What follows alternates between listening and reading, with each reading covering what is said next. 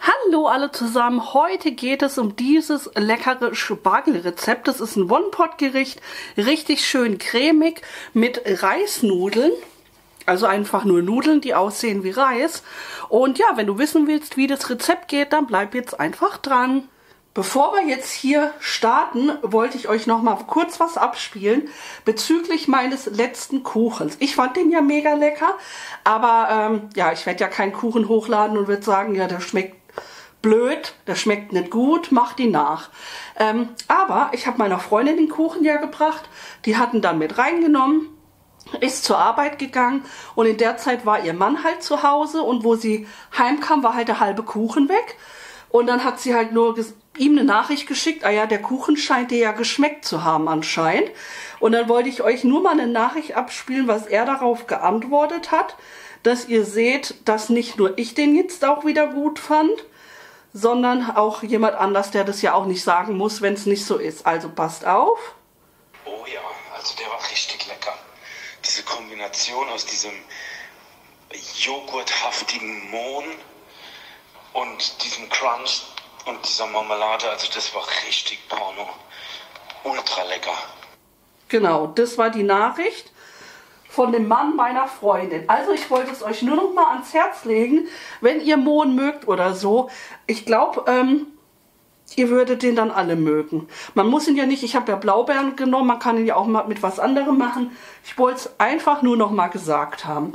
Jetzt machen wir aber hier weiter. Die Mengenzutaten stehen ja unter dem Video in der Infobox. Ich habe hier jetzt einmal Butter drin und die lasse ich jetzt erstmal schmelzen. Dazu gebe ich jetzt schon mal Knoblauch und Zwiebel. Und ich nehme ja diese kleinen Reisnudeln. Ihr könnt natürlich auch andere Nudeln nehmen. Ihr müsst natürlich dann einfach nur gucken, wie lange die halt brauchen. Ich finde die ganz ähm, toll auch und die schwitzen wir jetzt mit an.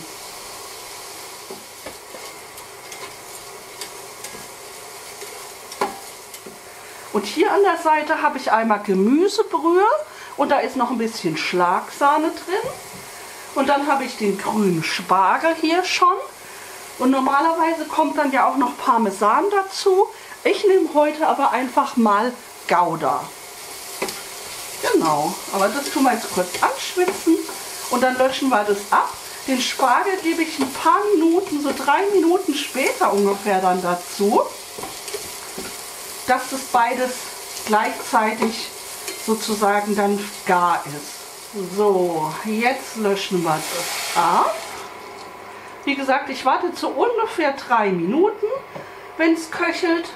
Und dann gebe ich den Spargel mit dazu. Aber wir können jetzt schon mal salzen. Muss man natürlich ein bisschen aufpassen, weil wir ja auch Gemüsebrühe dran haben. Dann pfeffern wir das Ganze.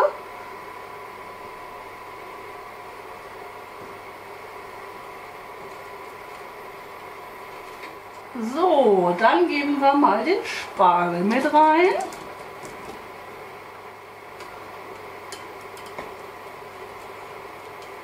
So, jetzt sind 15 Minuten rum. Also ich habe mich da an, die, an den Nudeln angepasst von dem Zeitraum. Ähm, oder Zeitrahmen, deswegen habe ich ja den Spargel auch ein bisschen später dazu gegeben.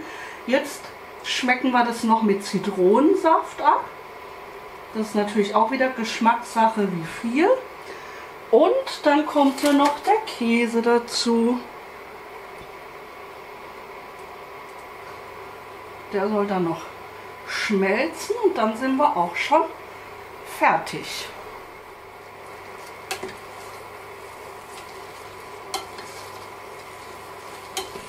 So, wir sind fertig. Wir können probieren. Was ich noch sagen wollte ist, ihr müsst natürlich immer zwischendrin mal umrühren. Also ist zwar ein One-Pot-Gericht und einfach, aber sonst brennt es natürlich unten auch an. Also immer mal zwischendrin umrühren. Und jetzt probieren wir mal.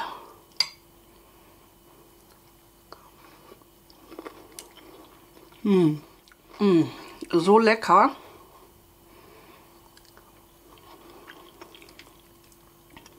Muss ich gleich nochmal nehmen. Mm. Schmeckt super, super lecker. Und ja, was soll ich mehr sagen, außer macht's nach, lasst es euch schmecken und dann hoffe ich, wir sehen uns wieder beim nächsten Mal. Tschüss!